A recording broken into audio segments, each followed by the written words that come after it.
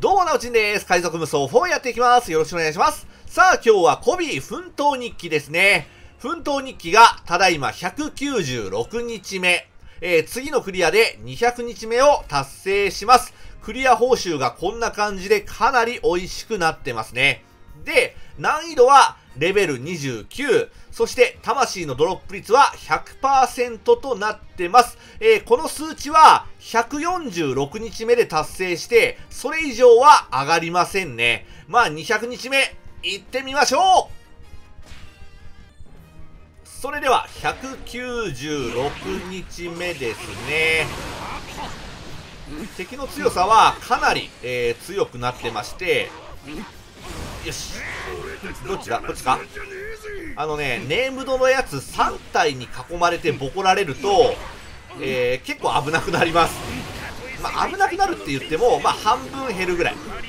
なので、瀕死にはなりません。うん、瀕死になったことはまだないんですけども、あの、たまにね、ネームドが6体ぐらい出る時があるんですよ。か、あのー、まとめて。その時が結構、やばいかなど真ん中に突っ込んじゃうと。うん。まあ、ど真ん中に突っ込んでも、そこで必殺技を2発撃てば、大体倒せるので、まあ、なんとかなってるんですけども、うん、もしかすると、えー、そういう場面でやられるのかもしれません。うん、まだやられたことはないんですけども。難易度はそんな感じです。で、ここまで来てると、もうほとんどね、素材はカンストします。うん。200日目ぐらいいけばもうカンストしてるので、全然素材集めは余裕ですね。やっぱりね、100日目過ぎたぐらいから、魂の、えーと、入手量が増えて、ヤマト万有機よりも美味しくなります。200日目余裕っすね。ああ、今回も余裕。1000人倒せ。あの、一番めんどくさいやつって、あれだよね。あのー、順番に倒せってやつ。あの、正しい順番に倒せ。あれがめんどくさいよね。大嫌いです。うん、なかなかね、当たらないんだよね。なので、あれが一番時間がかかるかなできれば、あれは出てきてほしくない。まあ、ランダムで出てくるので、まあ、そのうちね、それにぶち当たるんですけども、極力なら、あれはご遠慮したいところ。なんかね、あの、ヒントが隠されてるならばわかるんですけども、あれ、ランダムですよね、多分。ヒント多分ないと思うんで、そこがちょっと嫌なところですよね。ヒントをくれ。そうすれば、もうちょっと分かりやすいんですけども。完全にあれはランダムだと思います。OK ん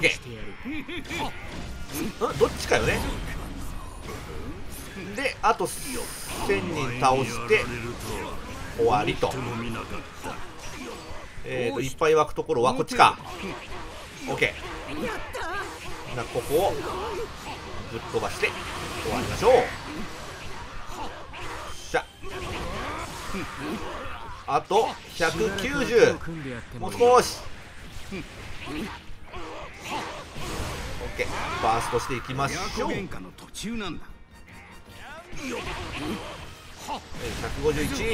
もう少し。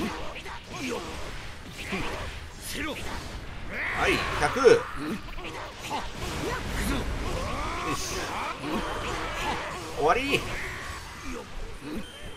はいえーと、中継ポイントどこだ？こうか。はい、200日目。まあまあまあまあ、楽に終えることができましたね。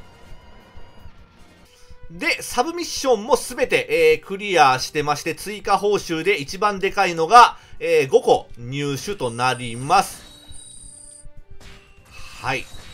かなり美味しいですね。こんな感じ。